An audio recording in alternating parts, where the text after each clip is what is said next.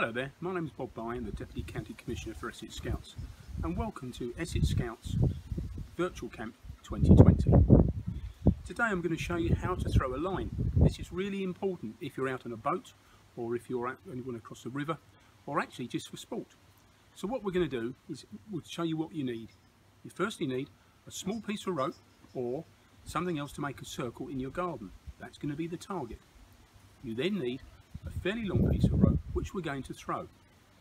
This is useful particularly if you're doing some of the sea scouting badges such as pulling or sailing where you have to actually throw a line to, to the shore to either pull yourself back or if you're in a canoe and you've lost your, your paddle someone can throw a line to you. So let's see how we're going to do this. So this is the rope that we had earlier. I'm left-handed so this is going to be my throwing hand.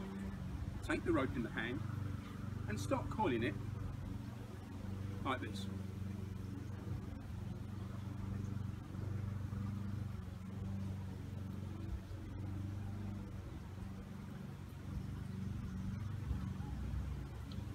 Now this is the hand which is I'm going to hold the rope to, so make sure you hold the rope very tightly because when you throw you don't want to let go of your rope.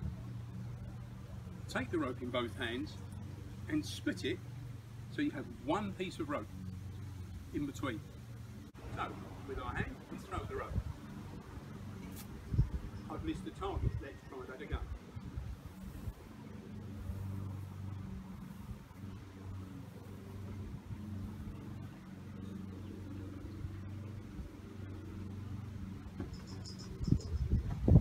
Again, holding the rope.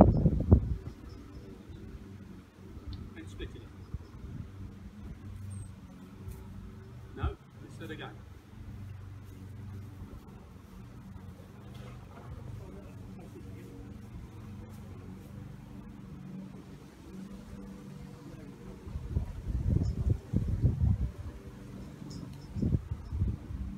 Third time. Right in the target. You can see I'm still holding the rope. But to make it easier, if you've got anything to make it heavier, so put a piece of wood here, we'll show you what to do next.